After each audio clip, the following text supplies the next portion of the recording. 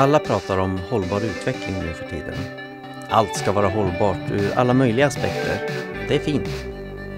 Det här är viktigt och samtidigt kan det kännas ogreppbart och svårt. Men behöver det vara så svårt? I den här filmserien träffar vi människor som här i Jämtland skapat och utvecklat något de tror på och som de brinner för. Något som utvecklar platsen där de bor och verkar och som på sitt sätt bidrar i en lite mer hållbar utveckling och livskraftig landsbygd. Det här är Länge leve!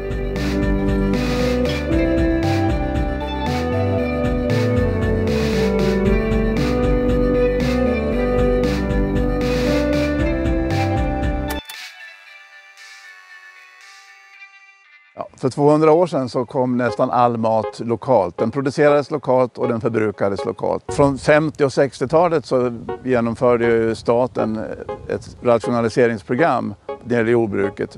Man syftade till att ta bort små enheter och skapa bärkraftigare, större enheter. I och med att gårdar har lagts ner så har det ju särskilt i Jämtlands utkanter blivit så att eh, man får ödemarker mer eller mindre där det växer upp sly och det förbuskas och så vidare. Så det är en ganska påtaglig del av vad som har, vad som har skett under säg, de sista 50 åren.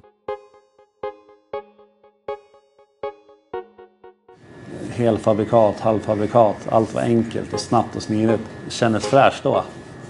Men eh, tog ju död på det väsentliga liksom. Och det äkta och det som är bra för kropp och själ. Bra råvaror.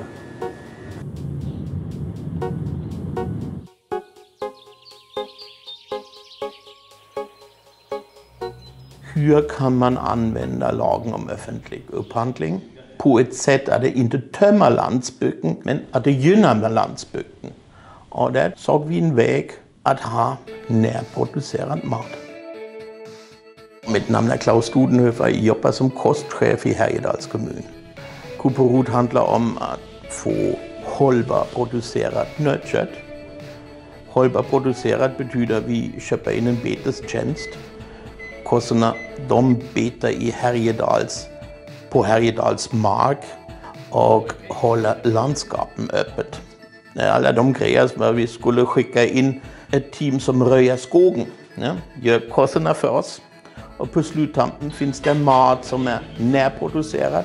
Vi vet att de inte har fått några antibiotika som om vi köper tysk kött. Vi litar mycket mer på våra bönder i en småskalig produktion som gynnar Härjedalen helt enkelt. Ja, just nu så är vi på väg ut och hälsa på våra kossor som går i skogen. Eh, de går fritt på ett 9 kvadratmil stort område. Så vi har en bit att åka, en bit att leta. Men eh, de har GPS så det borde gå ganska bra att hitta dem.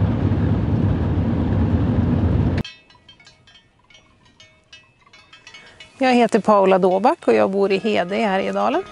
Jag jobbar som ekologisk bonde. Ja, kommunen tog ju kontakt med oss och ville försöka sälja lokal mat på skolorna och på äldreboendena. Och det tyckte vi lät som en bra idé för vi har haft samma tanke faktiskt. Men, eh, så då har vi sålt djur. Vi fick lämna in på upphandling vi har en väldigt speciell djurhållning så våra djur går ju helt fritt ute i skogarna. Dels så får de ju välja vad de äter och det, man ser att det är lite olika från, från dag till dag vad de väljer. Det kan bero på att de saknar någon mineral eller något sånt där så att de söker upp en viss planta eller ställer sig och äter lite jord eller någonting sånt för att få i sig mineralerna. Och det har de ju ingen chans att göra om de får kraftfoder. I andra länder har man ju ofta antibiotika i kraftfodret vilket inte alls är bra för antibiotikaresistensen.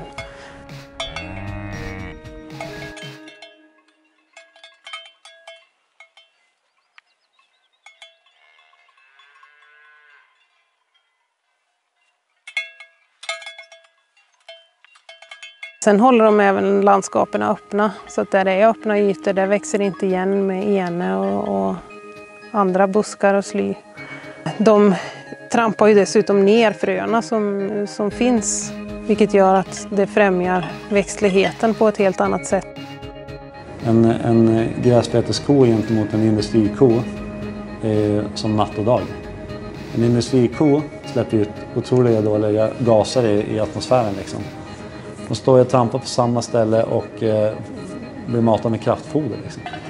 En fäbodko eller en gräsbeteskossa, med ett sånt djur i tanken att de ska beta på ett ställe, lämna avföring, gå vidare, beta på ett ställe, lämna avföring, gå vidare. Liksom. Och då är det helt plötsligt bra för naturen, bra för atmosfären. Där har vi tappat otroligt mycket. Vad gör mig mest glad är att vi får ett nätverk inom Härjedalen. Vi pratar mat, vi levererar, vi är kopplade till varandra. Vi serverar Peres potatis till Peres barn. Ja? Eh, det är äkt och ärlig mat. Och det gör mig glad. Självklart. Och vi vet maten, det är matlagning från grunden. Vi visste vad kossorna är.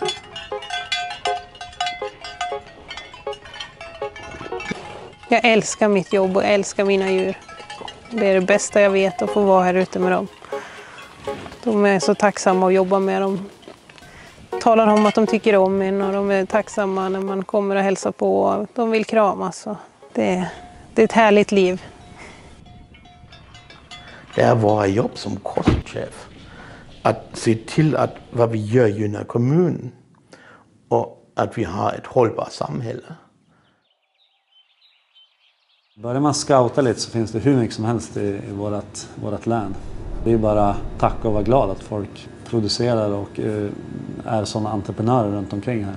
Det känns också som att folk verkligen vågar satsa liksom. De vill, vill göra sin grej och de, och de vill nå ut med det.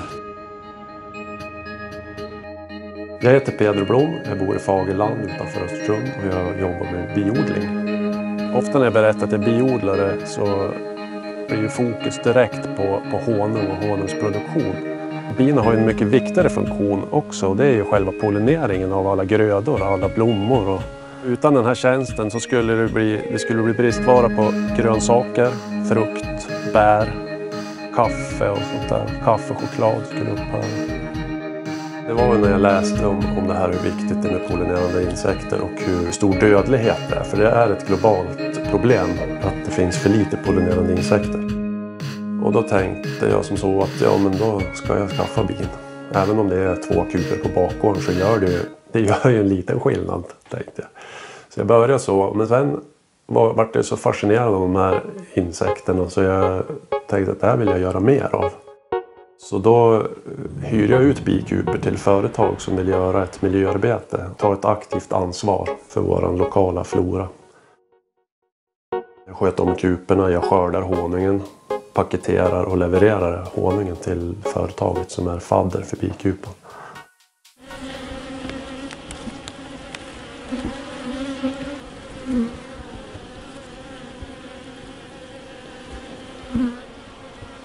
Det är så lätt att tänka att ja, men det spelar väl ingen roll vad jag gör. Men, men jag, jag, tror att det spelar roll faktiskt vad individen gör, vad man gör på individnivå.